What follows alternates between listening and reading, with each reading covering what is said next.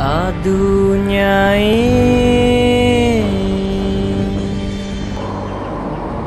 Dengarkanlah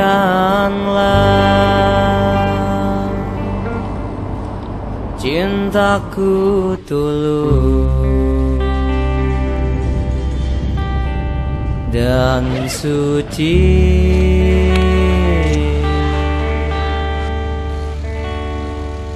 Sama